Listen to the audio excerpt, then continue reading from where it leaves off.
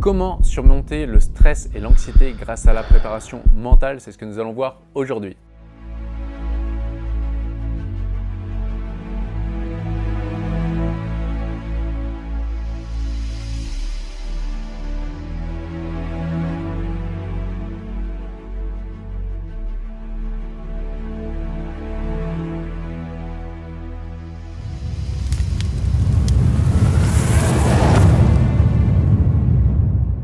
Bonjour, ici Pierre, fondateur de l'Académie de l'Haute Performance. On accompagne des sportifs et entrepreneurs à gagner confiance, se libérer de la peur d'échouer et battre leur record personnel. je suis également l'auteur de plusieurs ouvrages que vous pouvez retrouver dans le lien dans la description juste en dessous. Et également, si vous souhaitez aller plus loin, vous pouvez bénéficier tout de suite d'un entretien qui est offert avec un membre de mon équipe. Alors peut-être qu'aujourd'hui, à l'approche des compétitions, vous avez du stress, de l'anxiété ou avant un examen et vous sentez que ça vous fait perdre vos moyens. Et donc, on va voir aujourd'hui bah, comment est-ce qu'on peut surmonter le stress et l'anxiété grâce à la préparation mentale. Donc cette vidéo, elle tombe vraiment à point nommé puisqu'elle fait suite à un accompagnement que nous avons réalisé. C'était une amie qui nous avait envoyé une athlète, une de ses amies, parce qu'à chaque fois qu'elle avait en compétition, malgré qu'elle avait un grand niveau technique, eh bien peut-être même celui le meilleur de France sur sa discipline, eh bien elle paniquait et elle perdait sur des tours qui pouvaient être départementales ou des tours de ligue justement, lorsqu'on s'est parlé, eh bien, elle me disait Ouais, j'ai la boule au ventre, je perds mes moyens, je me dis que je suis pas assez forte et tout. Quand je vois un t-shirt Paul France, euh, ça me fait paniquer eh bien ça me fait perdre mes moyens. Comme on a l'habitude de le faire avec le programme L'identité gagnante, avec euh, plus de 600 athlètes accompagnés le jour où je fais cette vidéo, eh bien on a commencé déjà par faire une dépolarisation euh, classique. C'est-à-dire, euh, déjà, il faut voir que quand quelqu'un a énormément de potentiel mais n'arrive pas à l'exprimer, c'est probablement parce que vous êtes polarisé. C'est-à-dire qu'il y a peut-être les gens qui sont égoïstes qui vous agacent, des gens qui sont arrogants qui vous agacent. Et là, pour ce cas, bon, c'était un peu similaire à l'arrogance, c'était la prétention. Ah, j'aime pas les gens prétentieux. Et donc, il se passe quoi? C'est-à-dire que quand elle, je lui dis, OK, c'est quoi ton objectif? C'est d'être championne de France?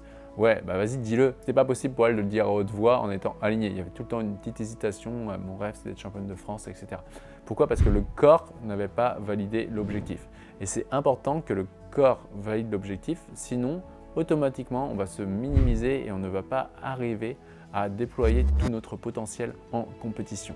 Donc la première étape, c'est déjà d'intégrer le fait de prendre sa place en dépolarisant les gens que vous percevez égoïstes, prétentieux ou arrogants. La deuxième étape que nous avons mise en place, c'était la dépolarisation inversée que vous pouvez retrouver dans le livre Préparation mentale gagnante, où là justement, bah, lorsqu'elle voyait un t-shirt euh, Paul France, c'est bien. Oh, elle disait, mais elles, euh, elles sont meilleures que moi, euh, je vais pas y arriver, etc. Et donc là, ce qu'on va faire en voyant la dépolarisation inversée, on a fait, ok, il représente quoi pour toi en fait le titre ou le t-shirt? Et elle me disait, bah, ça représente le fait que ça a validé un résultat, ça légitime une place. Et donc on a regardé sous quelle forme elle déjà dans sa vie, elle pouvait légitimer des places. Et ensuite on a vu les inconvénients pour elle qui perçoit ça chez les autres. Donc elle a vu que bah, du coup elle donnait pas de son maximum, etc.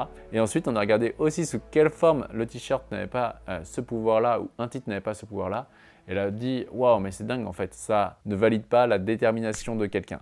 Et en fait, simplement en faisant ça, elle s'est autorisée déjà à pouvoir battre des athlètes plus fortes qu'elle. Rappelez-vous, l'autorisation est la première étape pour l'atteinte d'un objectif. À chaque fois, c'est l'autorisation en premier. S'il n'y a pas d'autorisation au niveau subconscient, de vous autoriser à vous dire mais je peux le battre en fait. Si le jour J, même s'il y a une chance sur 100, je peux le battre, eh bien le corps ne s'engagera pas pleinement dans l'action. Donc ça, c'est la deuxième étape, ne plus avoir peur de ses adversaires parce que sur un one-shot, vous savez que vous pouvez le battre. Je me rappelle aussi d'un tireur à l'arc en paralympique lorsque l'on avait fait une dépolarisation inversée sur son concurrent qui était euh, euh, censé être meilleur que lui. Il avait vu que, bah, en fait, plusieurs fois dans sa carrière, il l'avait battu parce que des fois l'autre ne faisait pas des sans fautes. Et donc, s'il était très bon au moment où l'autre était un peu moins bon, il pouvait gagner. Et en faisant ça, bah, boum, il a pris conscience de ça et donc n'était plus déstabilisé lorsqu'il tirait à côté de cet adversaire. Et ensuite, l'autre point, c'est d'arrêter de s'identifier à son résultat. Vous n'êtes pas votre résultat. Le résultat, une fois qu'il est arrivé, le résultat, c'est vraiment l'extérieur, c'est l'avoir. Une fois que le résultat est arrivé, c'est fini en fait. On n'en parle plus, c'est déjà du passé. En revanche, qui vous êtes en train de devenir à travers ça, ça vous le gardez. Donc, à partir d'aujourd'hui, arriver en compétition et vous dire